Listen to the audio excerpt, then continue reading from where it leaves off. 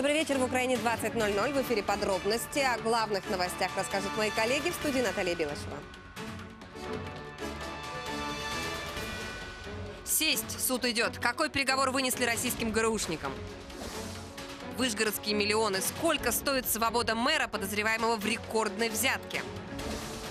Высоты раздора. Сирия претендует на часть еврейского государства. Чем ответил Израиль? Виновные с таким вердиктом после пяти месяцев судебных тяжб и 27 заседаний финишировал один из самых резонансных процессов в Украине. В Голосеевском суде огласили приговор по делу российских ГРУшников Евгения Ерофеева и Александра Александрова. По каким статьям осудили пленных спецназовцев и станет ли это решение суда шагом в сторону освобождения Надежды Савченко? Подробнее расскажет Егор Логинов.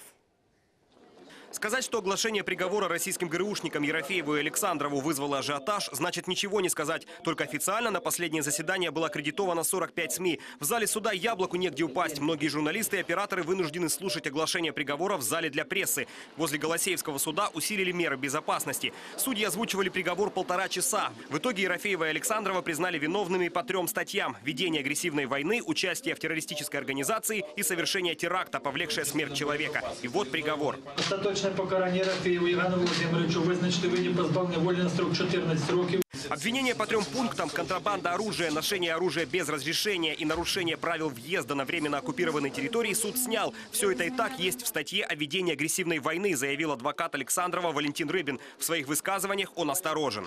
Приговор оглашен. Огласили трое професси- профессиональных судей. Они работали. Говорить об апелляции, либо о дальнейших каких-либо действиях мы будем после того, как получим приговор, его изучим, а также рассмотрим перспективы его обжалования. А вот Оксана Соколовская говорит, решение суда по своему подопечному Ерофееву однозначно собирается обжаловать. Сторона защиты как считала, так и считает, что никаких доказательств даже с точки зрения теории права м, не могут э, подтвердить э, факт участия или ведения или развязывания агрессивной войны на территории Украины, э, в данном случае капитаном и сержантом.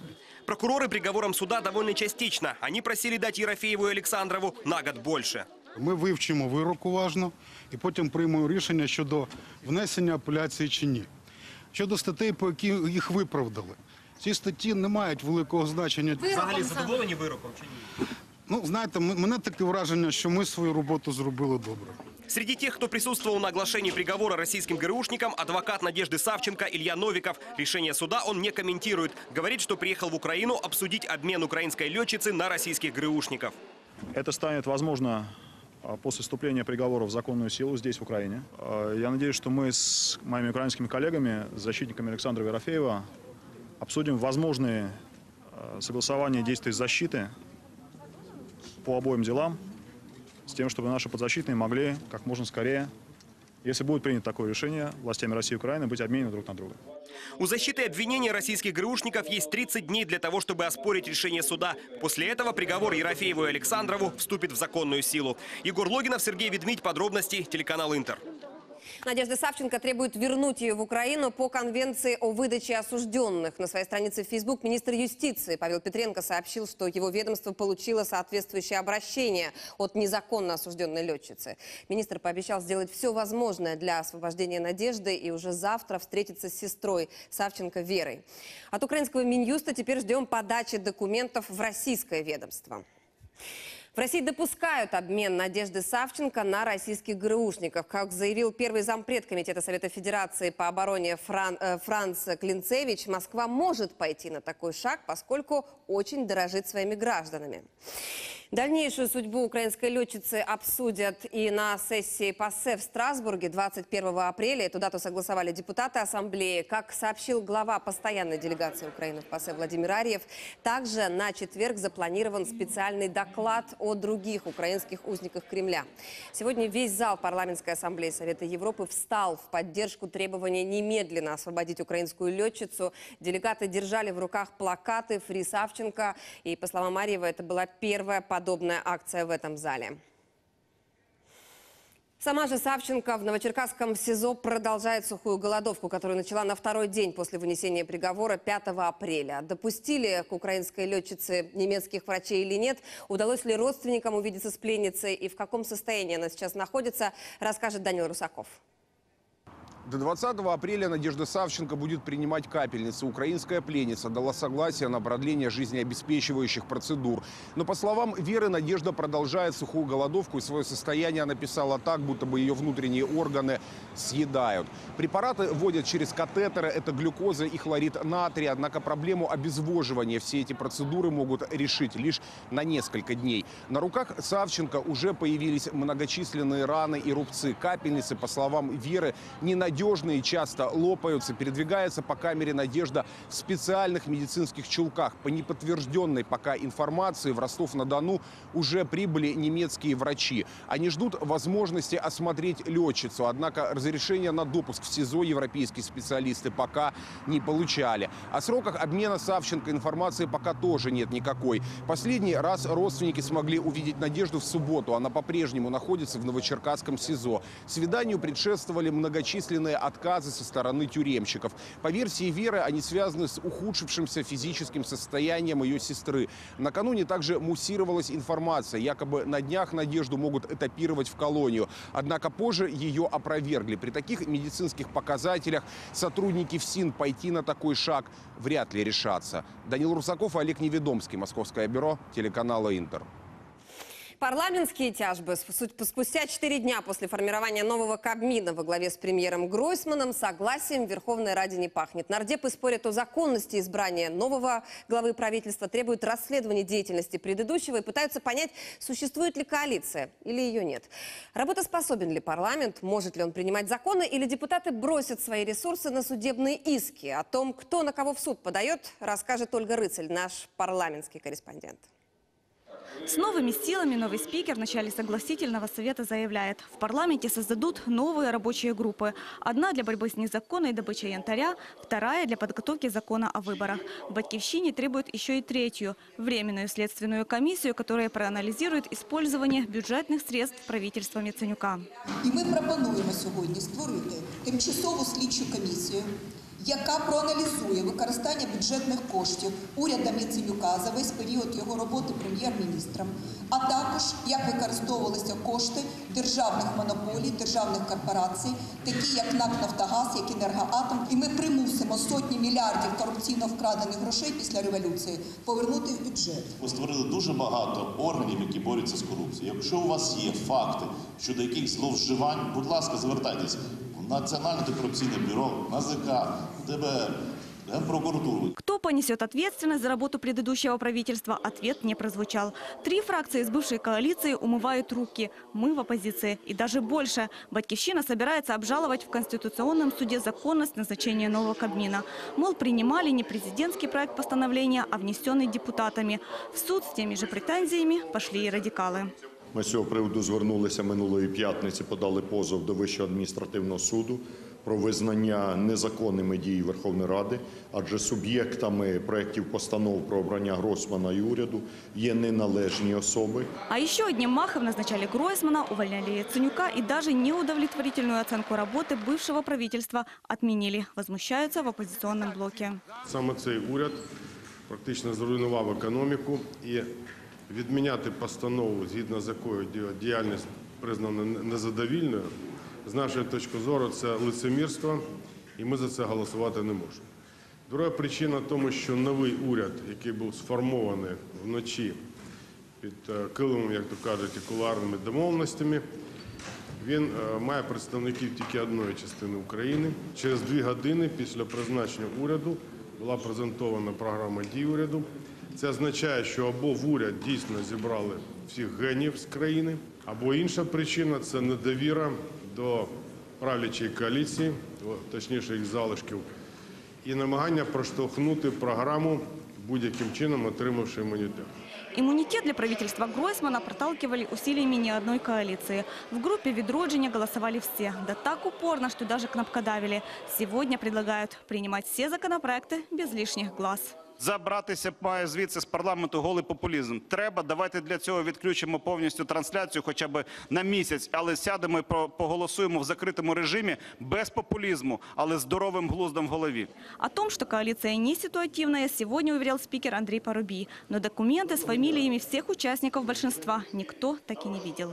окрім членів коаліції, членів фракцій, є позафракційні депутати, які є членами коаліції. По тих документах, які мені подав апарат, на момент нашого голосування було 237 членів коаліції, але в зв'язку з тим, що сім депутатів склали депутатські повноваження, відразу після обрання уряду вони склали повноваження, зараз є 230 членів коаліції. Будет ли работоспособна коалиция или снова придется искать голоса на стороне, покажет эта неделя. Сам спикер призывает депутатов к дисциплине и грозится уже на этой неделе внедрять реформу Верховной Рады для повышения продуктивности. Ольга Рыцарь, Владимир Самченко. Подробности телеканал Интер. Намерение одной части европейской коалиции подать в суд на вторую прокомментировал нардеп от оппозиционного блока Вадим Рабинович. Сегодня готовится новая, как бы такой ноу-хау разводка украинцев. Теперь, понимая, что все равно придется отвечать за то, что натворили, три партии выходят и говорят, мы тут ни при чем, теперь давайте выбирайте нас. При этом, смотрите, в парламенте комитеты у них остаются, поэтому они пятером ответственны за то, что с нами произошло. Оппозиция сегодня есть только одна, и называется она оппозиционный блок. Все остальные пять партий – это пять партий соучастников грабежа Украины, которые должны ответить, и оценка Яценюка одна – граты. За граты, и за все надо ответить. Оценить политические риски от обвинения Яценюка в коррупции лидером Батькивщины Юрия Тимошенко решили в Народном фронте. Этот вопрос обсудят на заседании фракции. Так сообщил источник из Народного фронта одному из изданий.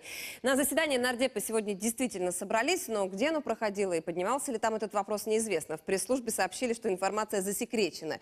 И вот буквально только что стало известно, что заседание фракции все же завершилось. И по словам Виктории Сюмар обсуждался вопрос о поддержке кандидатуры Юрия Луценко на должность генпрокурора. Вот говорили ли о намерениях Тимошенко, пока ни слова. За клевету тюремный срок. Применить такую норму якобы предложил на согласительном совете нардеп от Народного фронта Сергей Пашинский. Об этом на своей странице в Facebook сообщил его коллега Сергей Лещенко. Он напомнил, что последний раз сажать за клевету предлагали регионалы еще во времена Януковича в 2012 году. Тогда законопроект раскритиковали в Совете Европы, ОБСЕ и правительстве США. А в Украине прошли митинги журналистов, газеты вышли с пустыми передовицами. Лещенко потребовал вызвать инициатору такого предложения санитаров и заявил, что с нетерпением ждет законопроекта, чтобы снова выйти на акции протеста. Однако чуть позже Пашинский там же в Фейсбуке ответил Лещенко. Он написал, что хочет ввести уголовную ответственность за ложь и демагогию для политиков, а не для журналистов. Прикрепил видео своего выступления на согласительном совете и передал Лещенко отдельный привет. В ближайшее время Украину посетит миссия МВФ. Об этом сообщила глава фонда Кристин Лагард на встрече с украинской делегацией в Вашингтоне. Она заявила о готовности и дальше поддерживать Киев на пути экономических преобразований. Миссия приедет изучить ситуацию в стране после формирования нового правительства. Точная дата визита пока не сообщается. Э, Внеплановую реформу по деофшоризации инициирует, инициирует Петр Порошенко. Об этом президент заявил во время рабочего совещания с представителями правительства, парламента и фискальной службы. Для прозрачного ведения бизнеса, по словам Порошенко, Украина предпримет несколько шагов. Присоединиться к международной конвенции, это обеспечит доступ к счетам нерезидентов и введет статус для иностранных компаний, которые прямо либо косвенно принадлежат гражданам Украины. Незалежно від того, зареєстрована компанія в Україні чи за її межами, вона, якщо вона прямо чи опосередковано належить українському резидентові, податки від її діяльності мають надходити в Україну. Тому я визначаю розробку законодавства в цій сфері як е, одним з першочергових завдань держави. Война за землю в Херсонской области. Две агрофирмы не поделили сельскохозяйственные поля. Дошло до крайностей. Семь человек получили огнестрельные ранения. Что сейчас происходит в райцентре Новотроицкая, знают наши корреспонденты. В райцентре Новотроицка стихийный митинг. Десятки митингующих перекрыли дорогу. Требуют наказать виновных в расстреле семи работников одного из местных сельхозпредприятий. Чтобы люди, которые нарушили закон, они должны ответить. И все. Как выяснилось, в конце прошлой недели на охранников одной агрофирмы напали охранники предприятия конкурента. Их поля находятся по соседству. В итоге с огнестрельными ранениями в райбольницу госпитализировали семь человек. Они приехали со стороны э, района. Полная газель, камуфлированные ребята на камуфляже все. Вытянул прутья, один достал оружие, помпа оружие, начал стрелять людям по ногам. Одному из пострадавших, отцу четверых детей, пришлось ампутировать ногу. ранение дробовым патроном, где-то дробь четверка примерно, около 15-20 дырок, то есть бедро на ампутации было в виде месива. Конфликт двух предприятий в Новотроицком районе давний. Аграрии не могут поделить землю и пайщиков. Угрозы в адрес друг друга сыпались регулярно. Чтобы не выходили на поля, не стояли, не охраняли. Людям, да, чтобы не работали э, там, потому что будет еще хуже, да. Ну, еще что, э, пайщики отдали землю э, другому ага- а- аграрию. У другой стороны своя правда. Говорят, это их поля были незаконно захвачены. Но факт стрельбы не отрицают. Потом произошла стычка на другом поле. Вот вследствие чего есть пострадавшие. Я не, не знаю, что там произошло. Следствие идет. Сейчас в местном суде избирают меру пресечения нападавшим. Их было 12 человек. Суд постановил стрелявшего оставить под стражей на два месяца. Десятерых участников конфликта отпустили под подписку о невыезде. Судьбу еще одного решают. Затягивают то отводы прокурору, то следователю, то судье. Э, Мы по три раза это все слушаем. Сейчас ЧП на контроле области. По факту стрельбы открыто уголовное производство по двум статьям. Нанесение тяжких телесных повреждений и хулиганство. Елена Митясова, Сергей Бордюжа, Игорь Воробей. Подробности телеканал Интер. Херсонская область. Попавшегося на рекордные взятки в миллион евро мэра Вышгорода Алексея Момота выпустят под залог. Необходимую сумму в 5 миллионов гривен уже внесли, так утверждает глава Вы- Вышгородской райадминистрации. Александр Горган говорит, что миллионы за Момота собрали предприниматели и жители Вышгорода. При этом почти полтора миллиона внес внефракционный нардеп Юрий Деревянко и более двух с половиной супруга депутата Ярослава Москаленко из «Воли народа». По словам Горгана, Момота от обязанностей мэра Вышгорода не отстранили. И прямо сейчас адвокаты везут документы с отметкой об оплате залога в суд. После этого в течение суток Момота должны будут выпустить. Между тем, его бывшие однопартийцы по политдвижению «Воля» уже успели откреститься от любых связей со скандальным мэром. Я вже давним-давно не є членом партії воля. Я не знаю, хто це. І ніколи не знала цю людину. И более двух часов продлился допрос бывшего зампрокурора Виталия Коськов. В Следственное управление ГПУ его вызвали в качестве свидетеля по делу, связанному с препятствованием расследованию убийств на Майдане три года назад. После разговора со следователями Коськов заявил журналистам, что вопросы не касались периода его работы в Генпрокуратуре. Это уже второе дело, по которому Коськова вызывают на допрос. Сам бывший зампрокурора считает, что все это преследование – полный абсурд. Справа пов'язана з Майданом, але допитували мене чогось про документи, які складалися в березні і стосувалися санкцій. Тобто, яке відношення одне до другого мало, мені важко сказати. Ну, знову ж таки, в мене враження таке, що робиться все, щоб ми стомилися, але ми не стомлюємось. Ми приходимо за повістками, відповідаємо на всі запитання і будемо далі боротися. Театр абсурду продовжується, спостерігаємо далі. В рамках цього кримінального провадження вже допитали колишнього генерального прокурора Олега Махницького, колишнього генерального прокурора е, Ярему. Підійшла черга і до Віталія Касько. От нам і потрібно отримати відповідь на питання, чи хтось втручався в діяльність підлеглих. Тому я не розумію, нашу Касько в черговий раз створює для всіх країн таку піар-акцію. Ми обіцяли сьогодні, незважаючи на політичні заяви Каська, що він прийде на допит свідком і вийде з допиту свідком. Так і сталося. Сегодня Косько вручили третью повестку. В четверг его ждет очередной допрос уже по новому делу. На этот раз ГПУ расследует злоупотребление служебными полномочиями во время подачи заявления об участии Украины в судебном процессе по иску Януковича и его сыновей к Совету ЕС. Это касается введения санкций. Напомню, ГПУ также подозревает Косько в незаконной приватизации служебной квартиры. Следствие по этому делу продолжается. И сегодня в ГПУ прокомментировали информацию об утере части документов о получении служебного жилья прокурорами. У нас пройшли службові перевірки, які дозволили восстановити загублені документи. Ми отримували документи в ЖЕКах, в райдержадміністраціях і тому готові проводити розслідування по багатьом працівникам прокуратури, які могли бути причетні до незаконних махінацій житлом. В планах перевірка по всій Україні.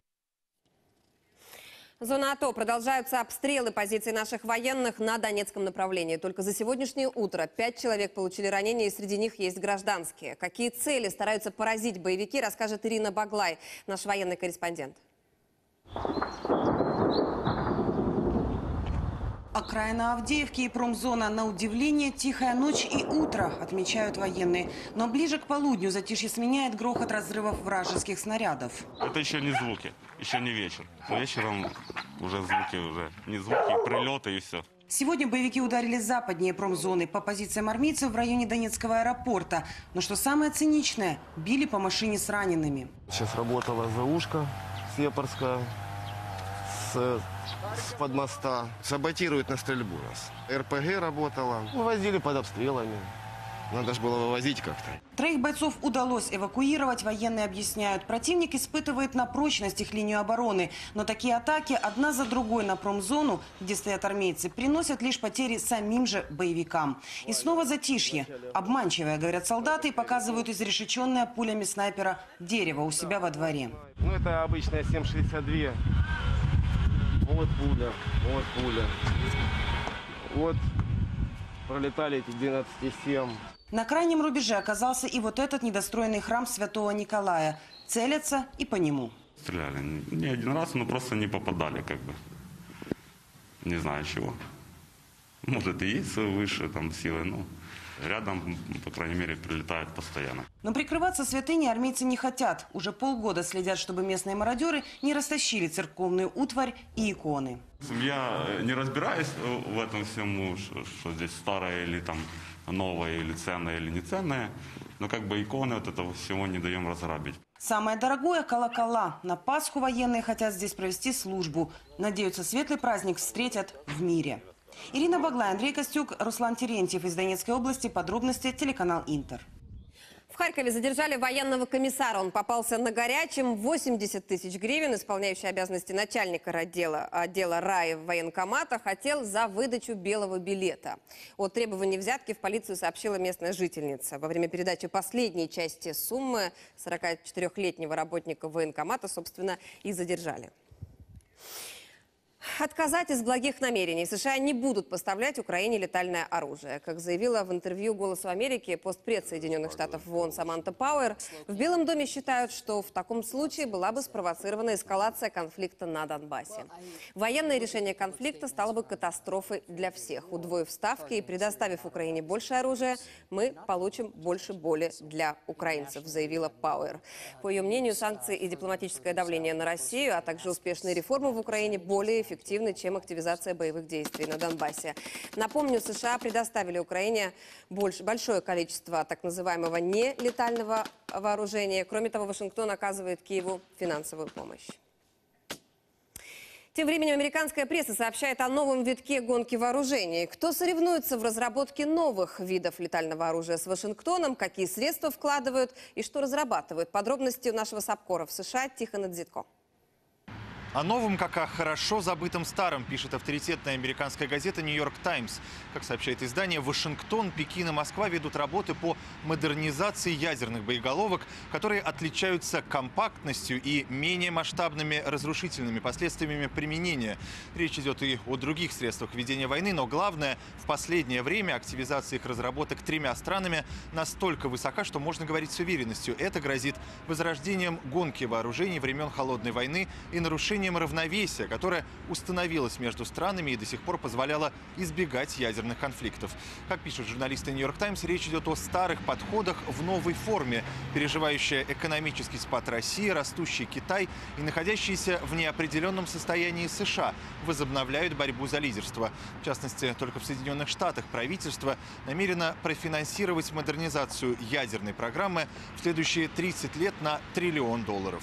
Тихон Зитко, Никита Исайко. Подробности. Американское бюро телеканала Интер. Взрыв прогремел в Иерусалиме. Загорелось несколько автобусов и легковушек. Информация о раненых поступает различная. Врачи утверждают, что двое из них находятся в тяжелом состоянии. Сейчас на месте происшествия находится мой коллега Сергей Услендер. Он с нами на связи. Сергей, здравствуй. Расскажи, что тебе удалось узнать и что говорят правоохранители. Это теракт?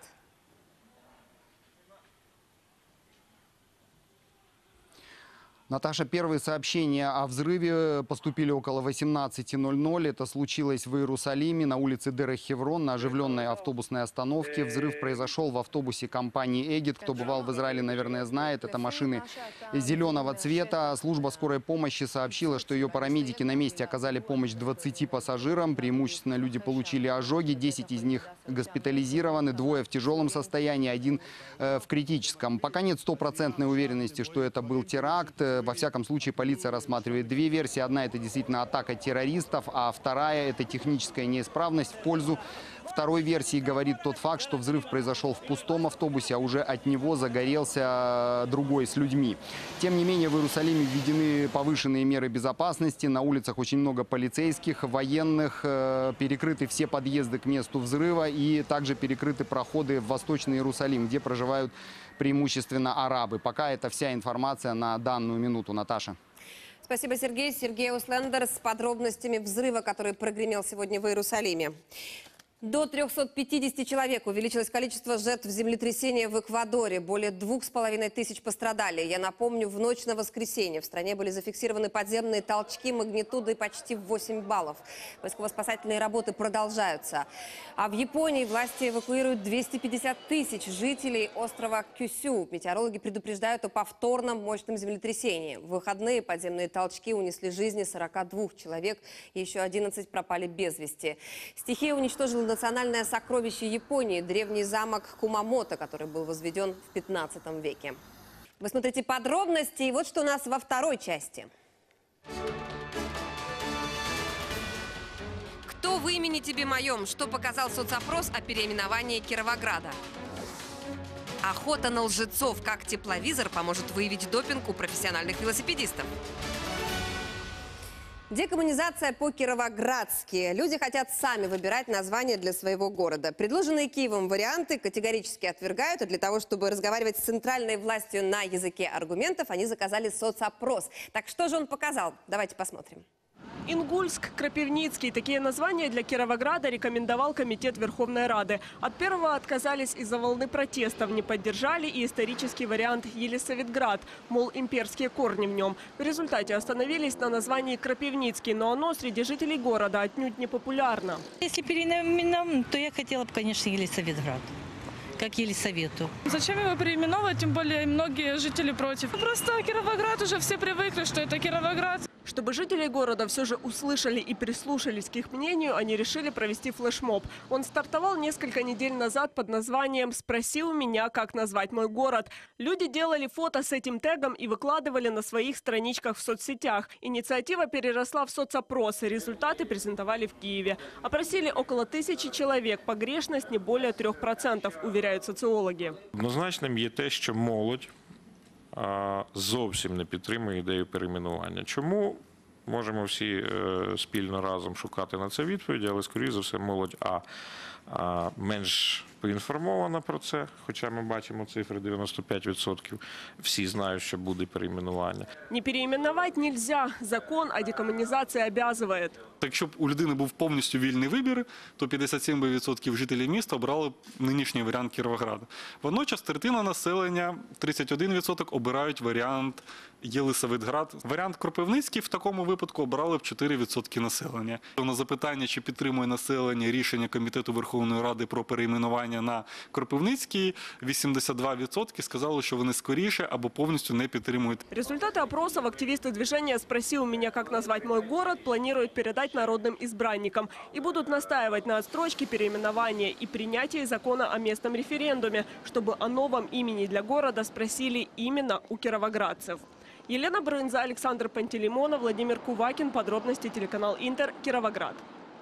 В столице может исчезнуть еще один сквер. Очередная стройка планируется в зеленой зоне. Как отреагировали в Киевсовете и намерены ли бороться дальше, смотрите в сюжете. Эта уютная зеленая зона на проспекте Героев Сталинграда в скором времени может исчезнуть. Хоссуд столицы разрешил застроить территорию. Жители микрорайона против.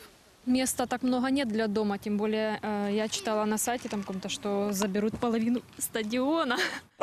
И вот, да, Уже гулять не будет не только с собаками, и детям негде будет гулять. Ну, это, конечно, ненормально. Все-таки где живут и играются дети, я думаю, это во, во- во благо им. Еще в начале 2000-х компания «Соул» получила этот земельный участок в аренду. В 2007-м договор продлили. Но два года назад, уже послереволюционный Киевсовет, решил, эту землю застраивать нельзя.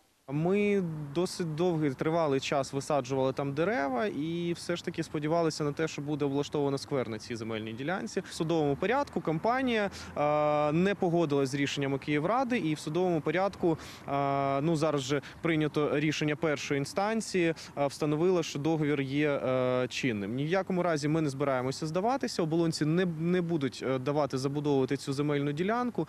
Связаться с представителями компании-застройщика оказалось непросто. Номера, указанные в интернете, неверные. Юридический адрес – жилой дом. Так что узнать, что и когда там собираются строить, пока не удалось. Общественные активисты уже заявляют, город от подобных стройпроектов необходимо защищать. Якщо будується відповідна кількість е, житла, має будуватись відповідна кількість дитячих садків, шкіл, відповідних майданчиків, поліклінік, лікарень. Тобто це має бути комплексне будівництво для того, щоб забезпечено всі потреби людини в інфраструктурі, в комфорті проживання. Все тоді це правильне і законне будівництво. Еще одна проблемная стройка на улице Панельной на левом берегу столицы. Десять лет назад фирма «Инфотранском» подписала договор с Киевпостранцем о реконструкции старой линейно-диспетчерской станции. В 2015-м договор обновили, а Киевсовет разрешил построить там жилой дом. Но «за» проголосовали не все. Инвестор получает возможность уже сегодня собирать средства покупателей на этом земельном участке и на этом проекте. Город сегодня не получает ничего, кроме обещания инвестора. Связаться и с этим инвестором нам не удалось. История та же. Прописка в жилом доме, телефон не отвечает. В госреестре значится, основали фирму в Белизе. Это офшорная зона. Чтобы узнать, в чем выгода такого договора, мы отправили запрос в Киевпостранц. Обещали ответить в течение недели. Несколько прояснили ситуацию в Киевсовете. Виступив з зазначеного приводу е, директор комунального підприємства «Київпастранс», е, пояснив, що там буде будуватися будинок, в якому, якщо не помиляюсь, частина квартир, там близько 30, е, ну, можу помилитися з точною цифрою, наскільки я зрозумів, близько 30, буде передана працівникам комунального підприємства «Київпастранс». Ну, якщо це дійсно буде відбуватися так, то я думаю, що такі речі треба робити. Обе стороны, и голосовавшие «за», и те, кто против, сошлись в одном. Это строительство необходимо контролировать, чтобы обещанные квартиры достались простым работникам, а не коррупционерам. И чтобы вообще достались. Ольга Теребинская, Екатерина Доброгорская, Алексей Шматов. Подробности. Телеканал «Интер». В Черкасах на грани выживания троллейбусный парк. Машины устарели и морально, и физически. Езда в таком транспорте сплошное испытание для пассажиров. А даже на самый минимальный ремонт троллейбусов у города нет денег. Какой выход нашли местные власти, расскажут наши корреспонденты. Ламається часто? А що не ламається? В Черкасском троллейбусном парке Петр Кифарук работает больше 30 лет.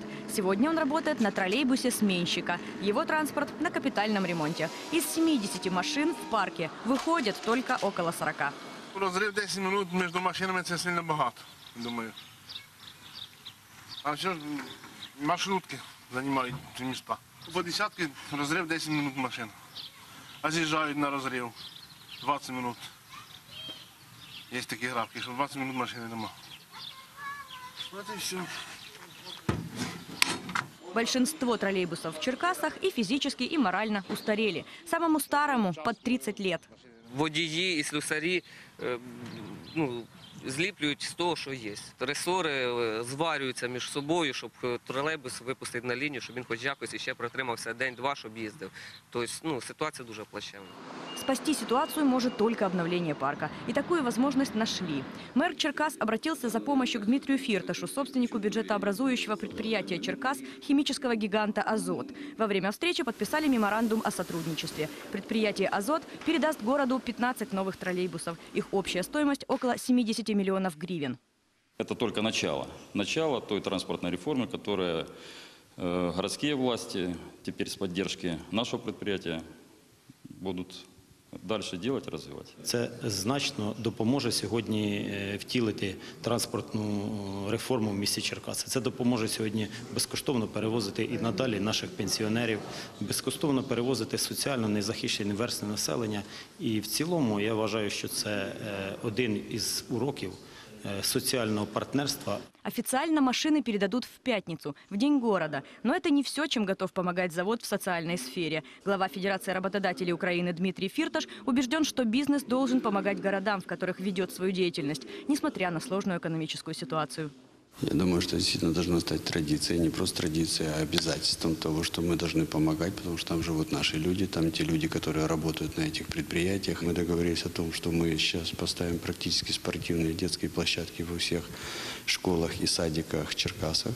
Это будет второе. И мы сегодня обсудили о том, что мы должны сделать все освещение по городу. Это очень важный процесс, что весь город должен хорошо освещаться.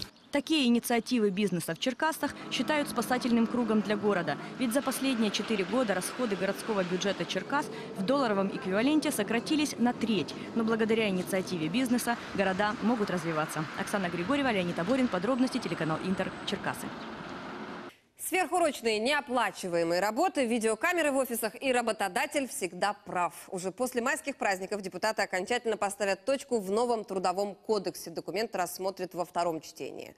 А сегодня работодатели, нардепы и представители международных организаций обсуждали технические правки. В частности, сокращение полномочий профсоюзов. Их мнение учитывать станут лишь в исключительных случаях при увольнении сотрудников, связанных с проблемами э, со здоровьем. Во всем остальном полагаться придется только на волю работодателя. Проект закона профсоюзы уже раскритиковали, а нардепы считают его несвоевременным. Есть э, белые пятна в кодексе. Он э, необоснованно э, громоздок. Он необоснованно бессодержателен. У нас ни во что не ставят профсоюзы и работодателей. У нас людей сделали, людей труда сделали рабами. И до того момента, пока эти вопросы не будут решены, э, попытки писать новые законы – это тщетные попытки. Стране нужны выборы, стране нужен новый парламент, Тем временем помощь для украинских бойцов на передовую привезли греческие предприниматели. Сегодня военным медикам под Мариуполем они передали большую партию медикаментов, в том числе и препараты, которые очень необходимы во время операции. Все подробности расскажет Руслан Смещук.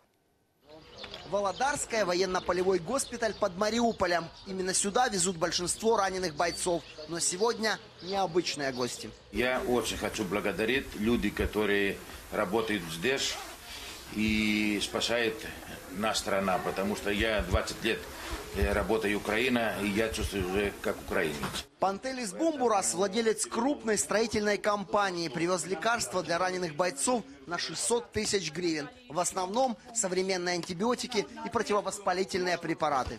Ванкомицин – это новое поколение, это лейкопептидный антибиотик, без которого на сегодняшний день операции не проводятся. Вона піде е, на користь е, як і українським солдатам, також наш госпіталь надає допомогу і постраждалим в зоні АТО, цивільному населенню, всім, всім, хто потребує медичної допомоги. После этого делегация едет на передовую. На линии сопряжения есть несколько греческих сел с работающими, несмотря на обстрелы и боевые действия, школами. Обстрелы обычно идут в ночное время, и мы в 7 часов, у нас все люди уже закрывают дома, и мы каждый прячемся, сидим дома. В Чермалыке школьникам подарили компьютерную технику и спальные мешки. Раньше они давали вот для лагеря, мы когда вывозили летом в прошлом году, и там дарили мальчикам. А это для школы, когда вот походы, когда они организуют. Думаем же, мир будет. А вот в Гранитинской школе из-за обстрелов течет кровля, а денег на ремонт у поселкового совета нет. Пообещали помочь и с этим. Кроме того, еще пять сельских школ получат компьютеры. Руслан Смещук, Даниэль Косаковский и Антон Чиженко. Подробности телеканал Интер. Папа Римский 20 апреля встретится с ликвидаторами Чернобыльской катастрофы. На аудиенцию по случаю 30-й годовщины трагедии приглашены руководители союзов чернобыльцев Украины и Беларуси, а также активисты. А 22 апреля работники ЧС намерены пикетировать Кабмин. Будут требовать возобновить доплаты за работу в условиях повышенной радиации. В профсоюзном комитете говорят, что закон принят еще два месяца назад, но денег до сих пор нет, потому что правительство так и не прописало механизм выплат. Цена свободы. Налоги выше, зарплаты меньше. Минфин Великобритании подсчитал, сколько будет стоить стране и каждому ее гражданину выход из Евросоюза. О каких суммах идет речь, аналитику британского Минфина изучила Светлана Чернецкая. Она в Лондоне. Доклад Министерства финансов – документ на 200 страниц. Пестрит цифрами, экономическими терминами и сложными формулами. Это прогноз состояния экономики Великобритании на 2030 год. Главный финансист правительства предупреждает, до того времени доходы казны сократятся на 6%. И в случае выхода из ЕС, по словам Осборна, расплачиваться придется каждой семье страны. Ежегодно их доход будет сокращаться более чем на 4 тысячи фунтов. Это 155 тысяч гривен. То есть беднеть будут все и до конца своих дней. Никакого роста экономики в жизни после ЕС не предвидится. В данном докладе мы уходим от слов и переходим к фактам. Вне Европейского Союза Великобритания будет становиться все беднее. Каждая семья потеряет немало денег. И это люди должны понять, прежде чем решать, как голосовать на референдуме. В документе рассматривается три возможных сценария развития событий после выхода Великобритании из Евросоюза. Их объединяет то, что все они ухудшат экономику страны и благосостояние каждого ее жителя. Первый вариант самый безболезненный. По примеру Норвегии, которая не входит в ЕС, но является членом Европейского экономического сообщества. Второй вариант – торговая сделка с Европой по примеру Канады. На этот вариант, кстати, надеются в лагере «Голосуй за выход». И третий, самый худший – торговля с ЕС по общим принципам Всемирной торговой организации. Противники Евросоюза называют этот доклад очередной страшилкой правительства. Мол, экономику сложно прогнозировать на следующий год, а тут сразу на 15 лет вперед. Впрочем, и противникам, и сторонникам ЕС довольно сложно проводить адекватную агитацию. Все обещания и прогнозы довольно голословные. Британский референдум станет прецедентом европейской истории. За 23 года существования Союза еще ни одна страна не покидала его. За два месяца до голосования мнения британцев разделились почти поровну, с небольшим преимуществом противников ЕС. Правда, около 20% избирателей до сих пор не определились, и по большому счету от них будет зависеть результат референдума. Светлана Чернецкая, Сергей Дубинин. Подробности. Британское бюро телеканала «Интер». Адмирал Нельсон и королева Виктория в респираторах. Зачем активисты надели маски на лондонские памятники? Об этом и не только в нашем обзоре. В Китае решили строго наказывать за взяточничество в особо крупных размерах. Если чиновник возьмет на лапу больше 460 тысяч долларов, ему грозит смертная казнь. Соответствующее постановление утвердила прокуратура и Народный суд Поднебесной. В последнее время в стране проводится показательная кампания против коррупционеров. Под следствием десятки политиков и руководителей крупных государственных компаний. Собаки Джонни Деппа спасены. В Австралии завершился громкий процесс по делу о контрабанде животных. Супруга Деппа, актриса Эмбер Хёрд, незаконно провезла через границу двух тортерьеров – Пистоля и Бу. Когда об этом узнали власти, незадекларированных животных пригрозили усыпить, а саму Эмбер посадить в тюрьму. Но после долгих разбирательств хозяйка признала свою вину, согласилась на штраф и условный срок, а песиков не тронули.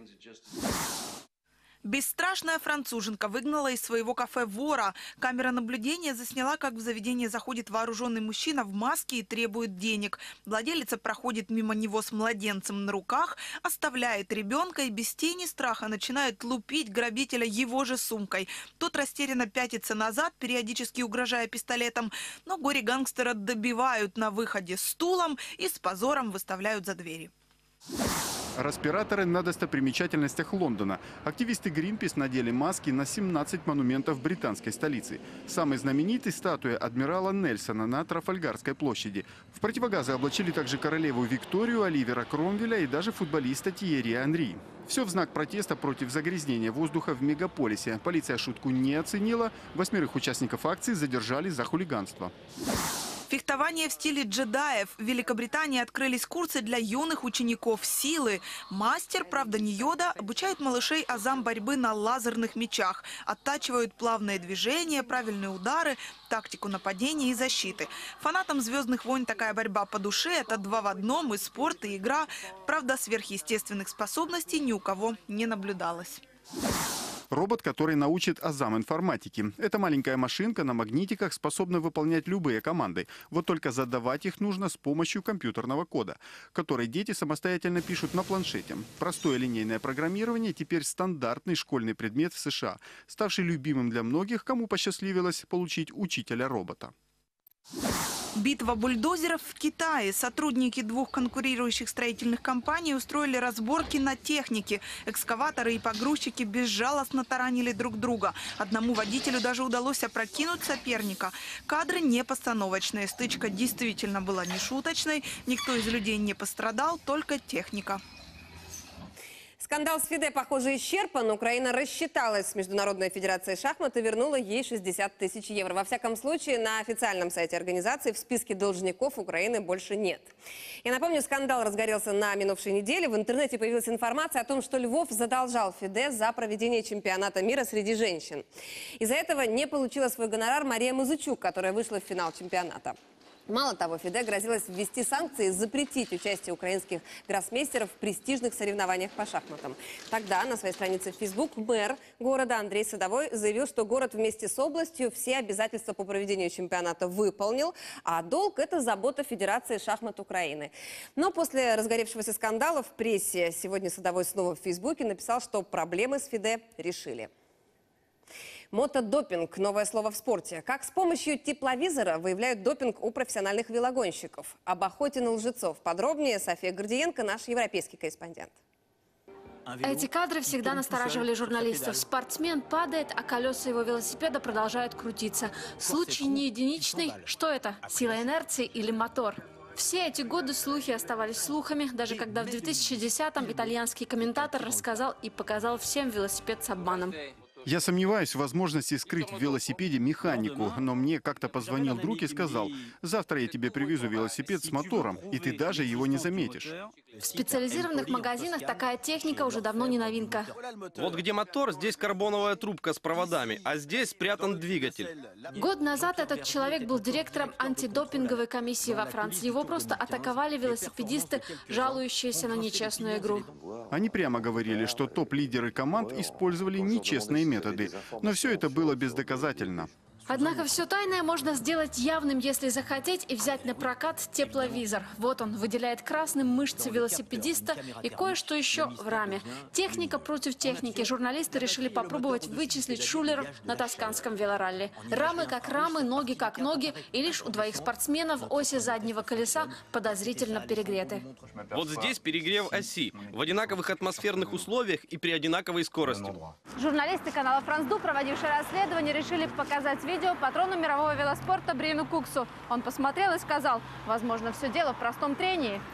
Впрочем, новость о перегретых осях, педалях и рамах стала бомбой в мире спортивных новостей. И, скорее всего, тепловизорами скоро запасутся все. И Федерация велоспорта, и телеканалы, транслирующие велотуры. София Гордиенко, Василий Трушковский. Подробности. Телеканал Интер. Следите за развитием событий на нашем сайте подробности UA. Хороших вам новостей, спокойного вечера и до встречи завтра.